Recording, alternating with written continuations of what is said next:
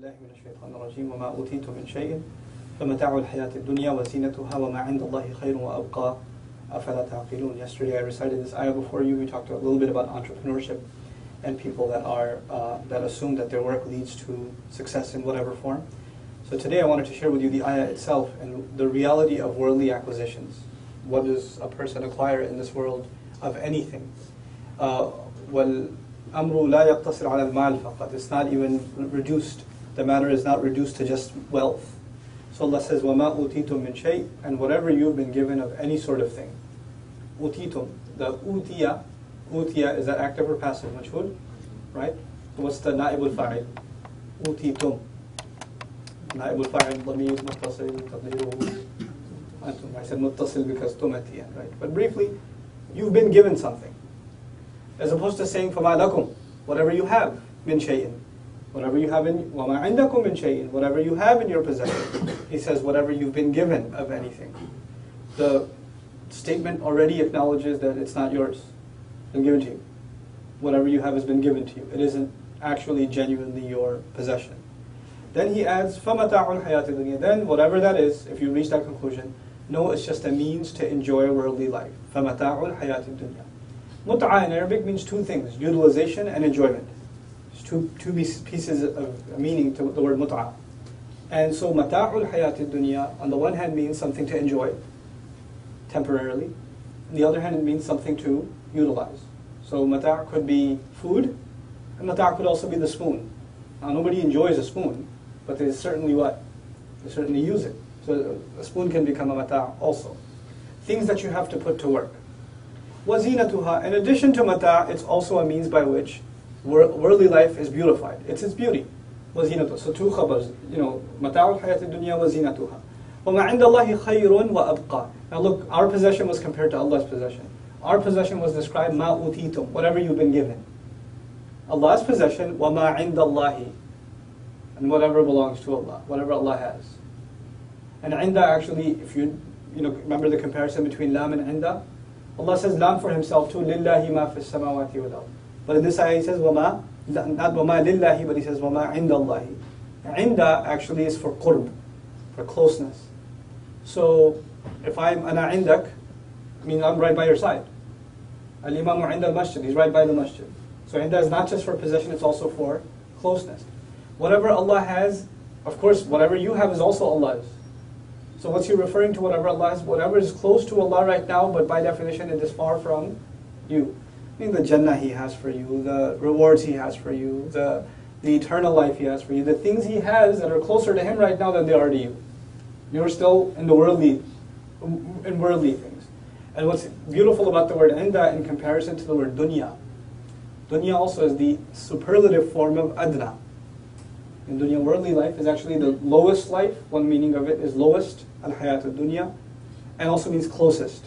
This is closest to you right now for you to enjoy. It's been given to you. But what I have in my possession, khayrun wa abqa. It's better and lasts longer.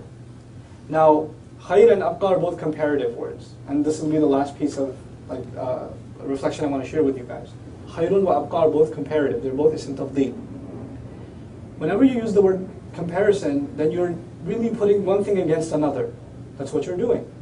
So Allah is forcing us to compare things we have here with things that He still has in His possession awaiting us. I have life here, I'll have life there. I have energy here, I'll have energy there. I have enjoyment here, I'll have enjoyment there. I have food here, I'll have food there. I have a house here, I'll have a house there. There's a comparison. But when you make that comparison, just remember one thing. Every time you use something here, remember there's something to be compared with that where? In akhirah. Something you find good, something you find enjoyable, and something you find beautiful here constantly just imprint in your mind there's something of the, this that is that has two qualities in Jannah. Number one is khair, it's better. I'm eating food, it's delicious. I remind myself there's food in Jannah and it's better. I have I enjoy myself doing something. I play a game, I enjoy company, I have a good time. I see a beautiful scene. I say this scene is beautiful, but what Allah has is better. This is khair. This is wa ma'indallahi khayrun. This has to be imprinted in the mind of a believer. When they enjoy good things. This is great, but there's way better. The second quality Allah adds is wa abqa. We did baqiya yabqa pretty recently. What does it yabqa mean? To remain. Abqa, al khayru abqa wa in tala zamanu bihi this morning. What does abqa mean? To last longer. The second comparison constantly were all things that are beautiful, enjoyable in this world What's the constant comparison? Whatever Allah has lasts longer, longer than this. I'm walking into my house, you know, walk into the house. I just I'm looking at the house and I'm going, oh, this is nice, Alhamdulillah. But there's another house and that lasts longer. Than, this won't last. By definition, you start thinking things here won't last. I love spending time with my children, but the company, the family Allah will give me in, in Jannah these children, may Allah return them to me in Jannah, but they're better, and that, that company, that time lasts longer. You know, there are moments at, at times in, in your life where you're with people you love and you're really enjoying yourself, and you want it to last forever. Or sometimes husband and wife get into a fight and they get over it, and then they're together and they're happy with each other and they turn to each other and say, Why can't every day be like this? Why can't I just say like this? That's the time to remind yourself, وَمَا عِنْدَ اللَّهِ خَيْرٌ وَأَبْقَى Whatever Allah has is better. Better, it's going to be better happiness than this, and it's going to last. It's not going to go away. Because even when we have happy times in the back of our head, what are we thinking? Man, this, I mean, spring is here, but fall's coming. You know, you're always thinking, "As another another day, where it's going to pass, and then bad times are ahead." Why then? Why don't you apply exercise your intellect then? Literally, the question at the end of this ayah is, think about this. Why aren't you thinking? Why aren't you engaged in, in real thought about this constantly? Subhanallah. And if that happens, then you know nobody gets confused about what real success means. What real nobody gets deluded into thinking they've acquired a lot in this world, or what they've acquired means something significant. It means nothing then. And they're constantly thinking this will go, just like I will go, and what Allah has is better and longer lasting. Those two words capture the essence of a believer in the akhirah, especially in Jannah. وَمَا عِنْدَ اللَّهِ خَيْرٌ وأبقى أفلا تعقلون.